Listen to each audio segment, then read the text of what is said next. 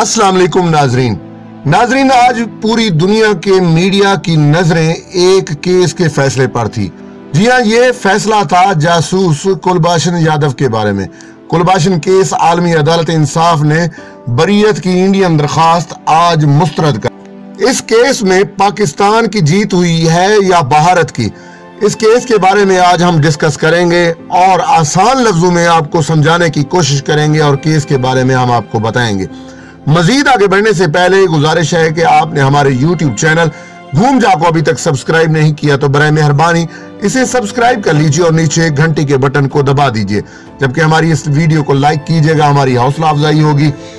ناظرین، ہالینڈ کے شہر دی ہیگ میں قیم عالمی عدالت انصاف نے پاکستان میں گرفتار ہونے والے مبینہ انڈین جاسوس کلباشن یادو کے اس کا فیصلہ سناتے ہوئے قرار دیا کہ یہ معاملہ عدالت کے دائرہ اختیار میں آتا۔ ہے عالمی عدالت انصاف نے کہا ہے کہ کلباشن کی بریت کی انڈین درخواست مسترد کی جاتی ہے۔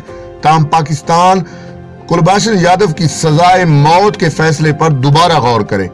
عدالت نے فیصلے میں لکھا ہے کہ دائرہ اختیار سے متعلق پاکستان کے اعتراضات کو مسترد کیا جاتا ہے۔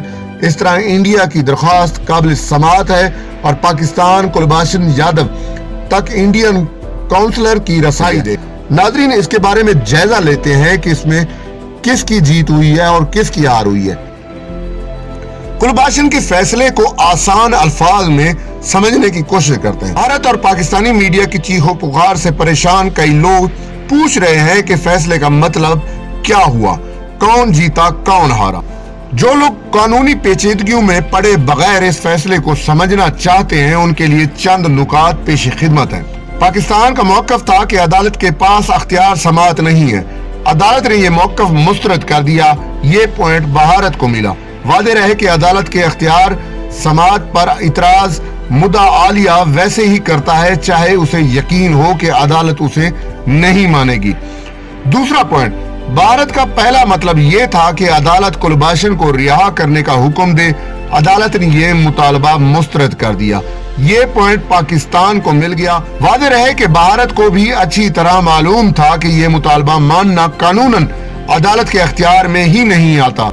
نمبر تین، دونوں فریقوں نے خوام خواہ مطالبات عدالت نے مسترد کر دیے۔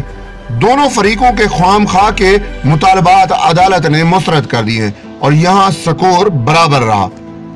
بھارت کا دوسرا مطالبہ یہ تھا کہ عدالت قرار دے کہ کلباشن کو کونسلر رسائی نہ دے کر پاکستان نے ویانا کنونشن کی خلاف ورزی کی ہے۔ عدالت نے یہ مطالبہ تسلیم کر لیا، یہ پوائنٹ بھارت کو ملا۔ بھارت کا تیسرا مطالبہ یہ تھا کہ عدالت قرار دے کہ کونسلر رسائی نے دینے کی بنا پر کلباشن کو دی گئی سزا کو ختم کر دے۔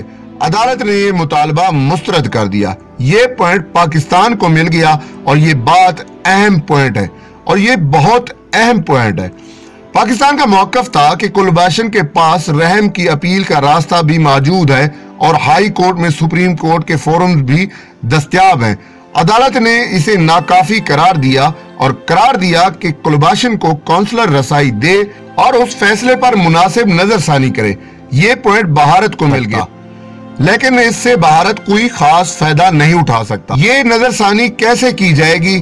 اس کے لیے عدالت نے کوئی خاص طریقہ مقرر نہیں کیا، بلکہ معاملہ پاکستان پر چھوڑ دیا ہے۔ یہ پوائنٹ بھی پاکستان کو مل گیا اور اس نے توازن کو مکمل طور پر پاکستان کے حق میں کر دیا۔ نتیجہ کیا ہوا؟ تینوں نکات نوٹ کر لیں کلباشن بدستور پاکستان کے پاس رہے گا۔ دوسرا پوائنٹ بھارتی کونسلر کو کلباشن تک رسائی دی جائے گی۔ تیسرا پوائنٹ ہے، فیصلے پر نظر ثانی کی جائے گی۔ جس کا لازمی مطلب یہ نہیں کہ کیس نئے سرے سے شروع ہوگا یا سنا جائے گا۔ تاہم، اگر نئے سرے سے کیس شروع بھی ہوا اور سنا بھی جائے، تو کلباشن کے خلاف دستیاب شوید کی بنا پر ہمیں یہ امید ہے کہ کونسلر رسائی اور نظر ثانی کے بعد فیصلہ تبدیل ہو سکے گا۔ ناظرین، اب تک یہ لگ رہا ہے کہ کلباشن یادو کی پھانسی کی جو سزا تھی، وہ ابھی لٹک گئی ہے۔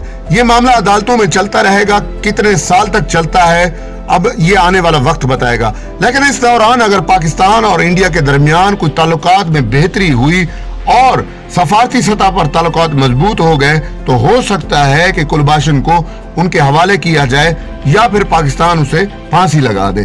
اب دیکھتے ہیں کہ آنے والے دنوں میں کیا صورتحال بنتی ہے۔ اس کے بارے میں ہم آپ کو اپڈیٹ کرتے رہیں گے۔